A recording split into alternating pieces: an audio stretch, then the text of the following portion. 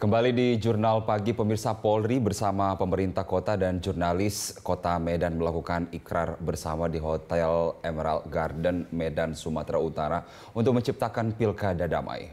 Ya, ikrar bersama menolak ujaran kebencian dan hoax juga dihadiri Wali Kota Medan dan juga Dandim Bukit Barisan. Ikrar kebersamaan itu dihadiri para jurnalis Kota Medan, Sumatera Utara, baik cetak, online maupun media elektronik. Ikrar bersama itu ditandai dengan menandatangani nota kesepakatan sebagai ikatan bersama untuk menjaga dan juga mengantisipasi berita hoax dan juga penyebaran ujaran kebencian selama pilkada berlangsung, baik kepada pejabat dan juga pasangan calon pilkada 2018. Kapolres Tabes Medan Kombes Pol Dadang Hartanto mengatakan pemerintah termasuk pihak kepolisian yang mengajak seluruh elemen masyarakat bersama-sama memantau pergerakan media sosial sehingga jika ada informasi hoax bisa cepat terdeteksi.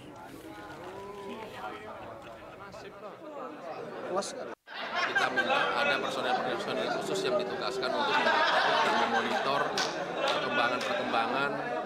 dengan melakukan cyber patrol dan melakukan komunikasi-komunikasi uh, termasuk menyampaikan berita-berita yang benar apabila ada pihak-pihak yang bertanya terkait dengan berita